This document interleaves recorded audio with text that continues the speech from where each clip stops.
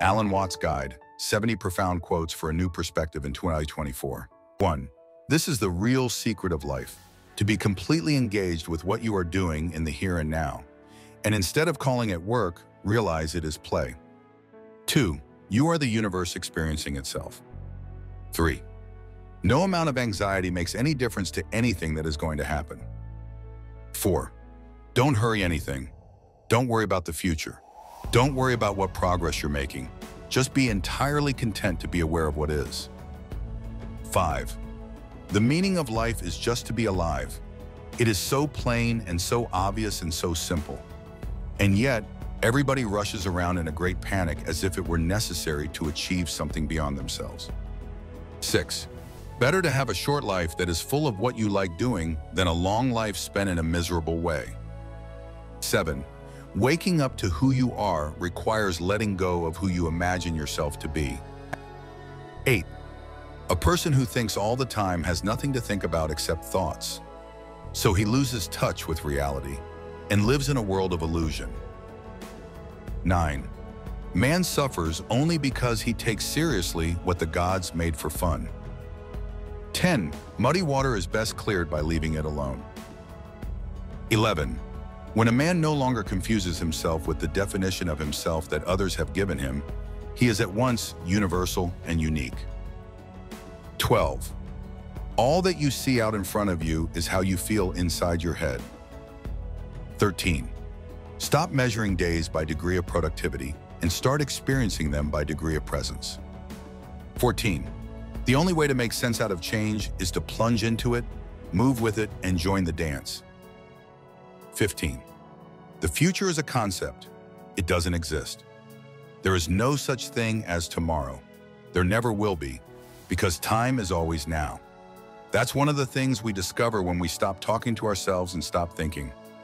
We find there is only present, only an eternal now. 16. To have faith is to trust yourself to the water. When you swim, you don't grab hold of the water, because if you do, you will sink and drown. Instead, you relax and float. 17. Through our eyes, the universe is perceiving itself. Through our ears, the universe is listening to its harmonies. We are the witnesses through which the universe becomes conscious of its glory, of its magnificence. 18. So many people of wealth understand much more about making and saving money than about using and enjoying it. They fail to live because they are always preparing to live. 19. Hurrying and delaying are alike ways of trying to resist the present. 20. Paradoxical as it may seem, the purposeful life has no content, no point. It hurries on and on and misses everything. Not hurrying, the purposeless life misses nothing. For it is only when there is no goal and no rush that the human senses are fully open to receive the world. 21. Real religion is the transformation of anxiety into laughter. 22. You can't live at all unless you can live fully now. 23. To go out of your mind at least once a day is tremendously important. By going out of your mind, you come to your senses. 24. For there is never anything but the present, and if one cannot live there, one cannot live anywhere. 25. When you get free from certain fixed concepts of the way the world is, you find it is far more subtle and far more miraculous than you thought it was. 26. You are an aperture through which the universe is looking at and exploring itself. 27. That's a waste of time. If you really understand Zen, you can use any book. You could use the Bible. You could use Alice in Wonderland. You could use the dictionary because the sound of the rain needs no translation. 28. Things are as they are. Looking out into the universe at night, we make no comparisons between right and wrong stars nor between well and badly arranged constellations. 29. You and I are all as much continuous with the physical universe as a wave is continuous with the ocean. 30. Zen is a way of liberation, concerned not with discovering what is good or bad or advantageous, but what is. 31. You are a function of what the whole universe is doing in the same way that a wave is a function of what the whole ocean is doing. 32. Try to imagine what it will be like to go to sleep and never wake up. Now try to imagine what it was like to wake up having never gone to sleep. 33. I have realized that the past and future are real illusions. that they exist in the present, which is what there is and all there is. 34. Nirvana is where you are, provided you don't object to it. 35.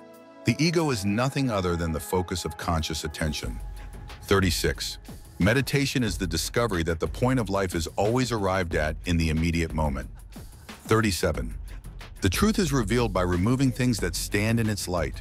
In art not unlike sculpture, in which the artist creates, not by building, but by hacking away. 38. We cannot be more sensitive to pleasure without being more sensitive to pain. 39. Stay in the center and you will be ready to move in any direction. 40. Problems that remain persistently insoluble should always be suspected as questions asked in the wrong way. 41. Trying to define yourself is like trying to bite your own teeth. 42. The more a thing tends to be permanent, the more it tends to be lifeless. 43. We get such a kick out of looking forward to pleasures and rushing ahead to meet them that we can't slow down enough to enjoy them when they come. 44. We know that from time to time there arise among human beings people who seem to exude love as naturally as the sun gives out heat. 45. Never pretend to a love which you do not actually feel, for love is not ours to command. 46. When we attempt to exercise power or control over someone else, we cannot avoid giving that person the very same power or control over us. 47. We usually don't look, we overlook. 48. You are the Big Bang, the original force of the universe, coming on as whoever you are. 49. If you can't meditate in a boiler room, you can't meditate. 50. It's time to question a job or career move when it seems like most energy is devoted to making things appear other than what they really are. 51. The soul is something which contains the body. The body doesn't contain the soul. The soul, if we put it into modern language, is the entire complex of relationships in whose context this organism exists. 52. You are that vast thing that you see far, far off with great telescopes. 53. Imagine a multidimensional spider's web in the early morning covered with dewdrops. And every dewdrop contains the reflection of all the other dewdrops and in each reflected dewdrop, the reflections of all the other dewdrops in that reflection. And so ad infinitum. That is the Buddhist conception of the universe in an image. 54. How is it possible that a being with such sensitive jewels as the eyes, such enchanted musical instruments as the ears, and such a fabulous arabesque of nerves as the brain can experience itself as anything less than a god? 55. But at any rate, the point is that God is what nobody admits to being, and everybody really is. 56. Nothing satisfies an individual incapable of enjoyment. 57.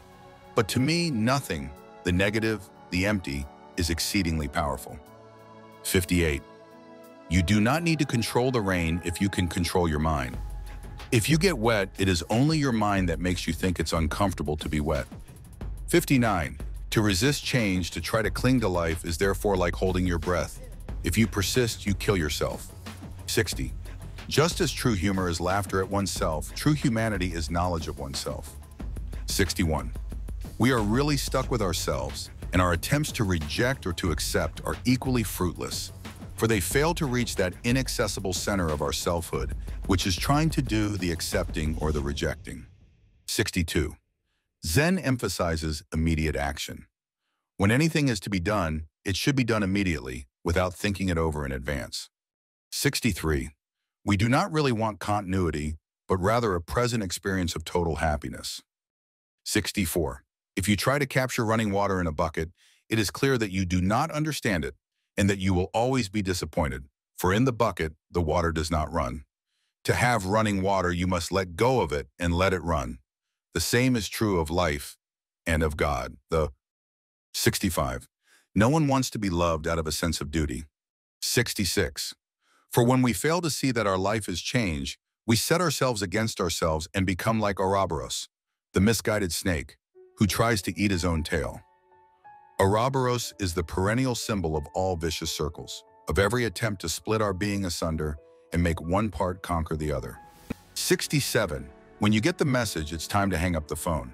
68. The energy and material which we have all squandered on making war since even 1914 could have warmed, fed, and clothed everyone on Earth. But we go about this atrocious squandering in the name of such immaterial and irrelevant fantasies as religion, honor, ideology, progress, racial purity, and patriotism. The last being not love of one's country, but of the idea of one's country. 69. Problems that remain persistently insoluble should always be suspected as questions asked in the wrong way, like the problem of cause and effect. Make a spurious division of one process into two, forget that you have done it, and then puzzle for centuries as to how the two get together. 70. The divided mind comes to the dinner table and pecks at one dish after another, rushing on without digesting anything to find one better than the last. It finds nothing good because there is nothing which it really tastes. 71. Irrevocable commitment to any religion is not only intellectual suicide, it is positive unfaith because it closes the mind to any new vision of the world. Faith is, above all, openness, an act of trust in the unknown. 72. We can hardly begin to consider this problem unless it is clear that the craving for security is itself a pain and a contradiction, and that the more we pursue it, the more painful it becomes. 73. To define means to fix, and when you get down to it, real life isn't fixed. 74. My sense of kinship with this world is not only with its obviously sympathetic and, and beautiful aspects, but also with the horrendous and strange. For I have found that the monstrous and inhuman aspects of fish and insects and reptiles are not so much in them as in me. They are external embodiments of my natural creeps and shudders at the thought of pain and death. 75. Moreover, there is no unconscious mind distinct from the conscious, for the unconscious mind is conscious, though not of itself, just as the eyes see but do not see themselves. 76.